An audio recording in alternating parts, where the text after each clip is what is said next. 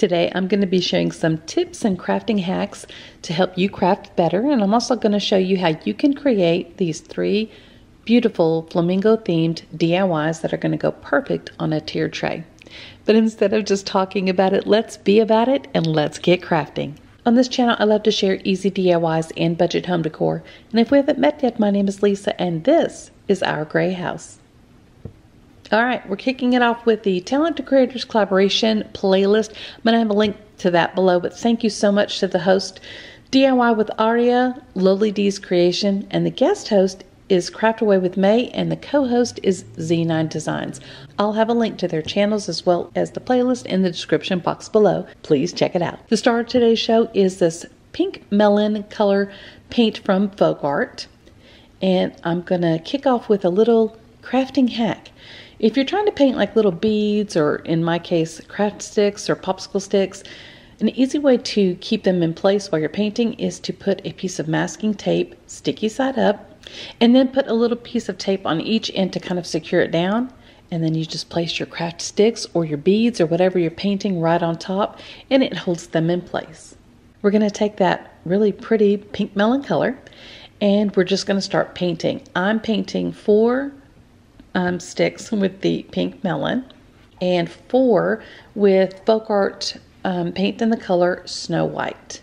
I also paint some or do the Waverly Wax in the color Antique on some, but don't mind this. We're going to paint them black at the end. and then I have this little cube that I got from Dollar Tree and I'm painting two, no, one side, the top, the top of it with the pink melon color. I'm taking some Mod Podge. Did you know it was May is Mod Podge month? It is. It's also my birthday month. so anyway, I'm just applying some Mod Podge to two sides of this little cube with my fingers. And then I'm taking those craft sticks that are now dry and I'm going to cut them down to size. And so I'm just kind of measuring out and I'm not throwing away the little extras that I have left over because I'm going to use them for the other side. And you'll see what I do in just a second. But this side, I'm just kind of lining them up, seeing how they all need to fit. I'm going to take some wood glue that I got from the Dollar Tree, and wood glue works best wood to wood, so I have the back side of those popsicle sticks unpainted, so it's going to adhere really nicely. And I'm just alternating the pink melon and the snow white, pink melon and snow white on one side of that little cube. For this part, I'm trying to decide what pattern I want to do on the other side. And at first I thought I was going to do a brick pattern, kind of seeing how that's going to work. And then I was trying to cut things down to size because the black popsicle sticks hadn't cut down yet. Anyway, decided to do it this way. And so I just used that wood glue again to glue them all on. I got this napkin from the Dollar Tree and y'all, it took me forever and a day to pull it apart. I finally got it apart, but whenever you're using Mod Podge, you're going to decoupage something on, you only want one ply of the napkin or tissue paper or whatever. So now I'm placing it on the cube where I want it so the design is where I want it and I'm placing a piece of parchment paper because that is going to reactivate the Mod Podge. This is a simple and easy way for you to do it without it um, being messy and it doesn't wrinkle or anything like that. It's a really great technique. It's a really good hack for getting wrinkle-free Mod Podge. And once that is reactivated and attached, I'm just using my little finger sander to sand off the excess. And this is how it turned out. I love it.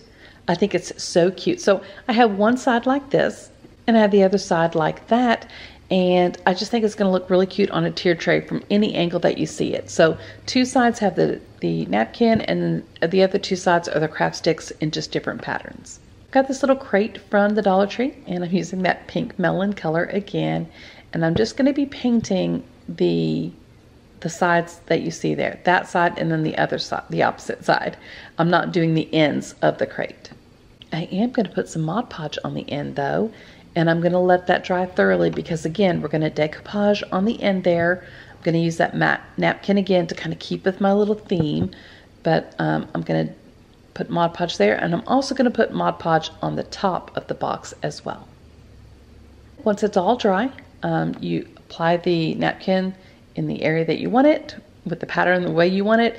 You put a piece of parchment paper. That's key too, the parchment paper. So to protect your little heat press or your little iron, whatever you're using, just in case any Mod Podge seeps out or something like that, it's not going to damage your little um, heat press. And then I just, again, cut away the excess and then you'll use the finger sander to trim away. It really gives it a nice clean edge without having to like measure too closely or anything like that. It's another great tip for crafting. And I'm also going to do the same technique to each end. I cannot stress enough how easy this makes it to decoupage something. Now, if you have something with a lot of nooks and crannies and things like that, sure, that's going to be a little bit different story. But this really, you don't have any wrinkles and it's just so easy to work with. I did cut out some letters using my Cricut, but if you don't have a Cricut, you could either hand letter it on or you could use the little mini stickers that they have at the Dollar Tree or at other places. I mean, Walmart probably has little stickers that you could use as well. I applied them on using my paper transfer tape that I love so much because it does not pull up paint or anything like that. Sometimes you have to be really careful with the transfer tape if it's like super sticky but I'm just adding the words where I want them and I pull back the transfer tape and I add the next words and so on and so forth. I didn't show it, but I added a little black with white polka dot ribbon to the end and that's how it turned out. I just think it is so adorable and I just think it looks so pretty. I'm using this Frosted Flakes cereal box and I just want y'all to know if you don't have a specific wood shape or something like that, you can create stuff using cereal boxes and cardboard that look really awesome in the end. And you wouldn't really know it's going to be, you're not going to know it's a cereal box at the end, y'all.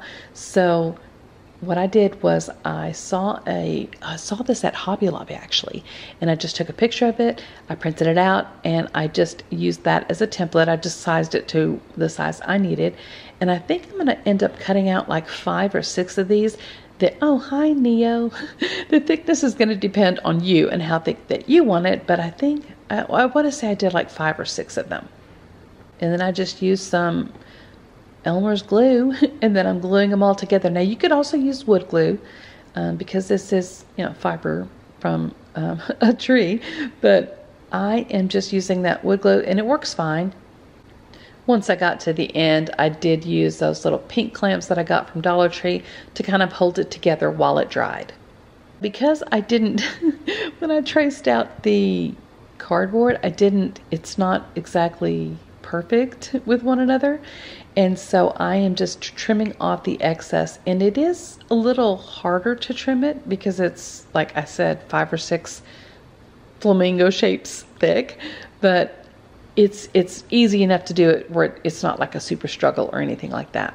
I use that flamingo color and I painted it. I guess I didn't show you that part, but now we're onto the beak and I'm using this like, I guess kind of a melon color. I'm going to peach color and I'm using that for the beak. Then I take some black paint and I'm using the end of the paintbrush to make a dot for the flamingo's eyes. And then once that's done, I'll just use the paintbrush to paint on the little tip of his beak. Or her beak, I don't know. Could be a girl, could be a boy. Aren't like male birds like darker or brighter looking? So maybe it is a male. Who knows? Who cares?